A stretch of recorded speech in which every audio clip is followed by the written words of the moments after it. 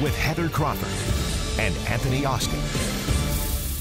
Murder Hornets. It's not the name of a bad sci-fi movie. They're real, and the hunt to track them down is fascinating. When the first murder hornet nest in the United States was found in Washington state, it was all over the news. You probably remember hearing about them. Now it turns out there's a tie here to Jacksonville. Our Jeannie Blaylock takes us behind the scenes on the hunt for these predators. It's been crazy. Back now with what's called murder hornets, reported in the U.S. for the first time. And its sting is strong enough to kill a human. The so-called murder hornets. Stop calling them murder hornets. Dr. Peggy Shashi. People started putting up signs all over the national parks and state parks that this hornet could actually decapitate people. And that is not true, but they can blind you. As a veterinarian, what is the most intriguing thing to you? I had never known any hornets to be this big and that they could actually spray venom through the stinger that could damage the retinas of your eyes.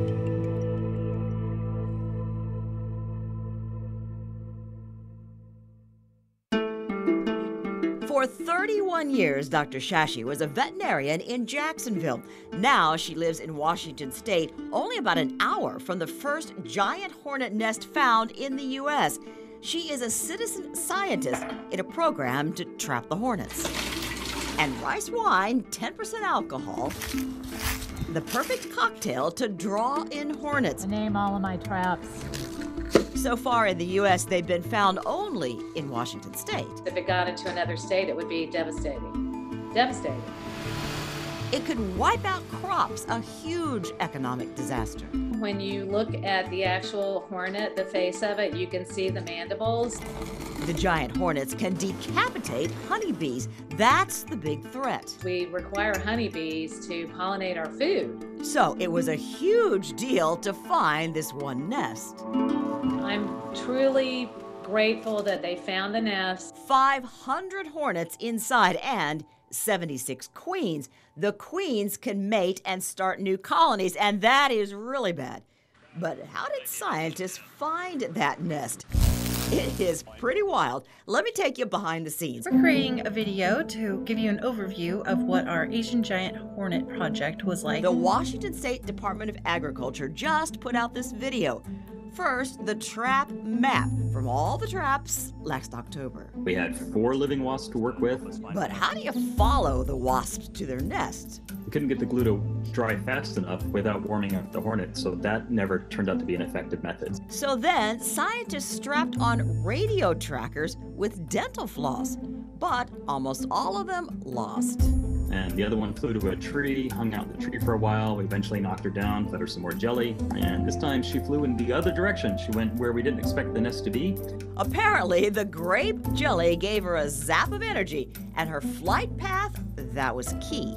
Kind of what we expected to do all along. We walked around in the woods with this kind of radio antenna until we were able to pick up a signal and follow the signal until it got stronger and stronger and stronger until we found ourselves standing in front of a hornet nest.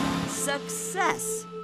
however. And it's, it's, a, it's a scary thing because we know they defend their nests. Their sting, a fiery pain, even some fatalities in Asia. So. So we wrapped the tree with plastic and then we vacuumed everything out. And notice the red light. If you use regular, you know, white lighting, it would aggravate the hornets and they would literally come after you and attack you.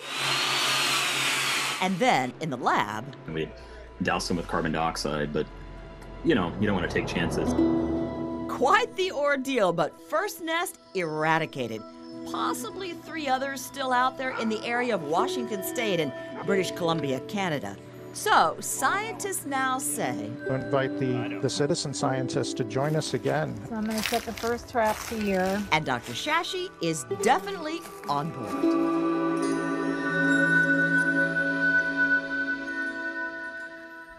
Fascinating to look at. Well, you can learn more about the giant hornets. The Discovery Channel has just released a new documentary called Attack on the Murder, Attack of the Murder Hornets. Scientists in the program say a single hornet can behead 20 bees in 60 seconds. Follow that, Tim Deegan.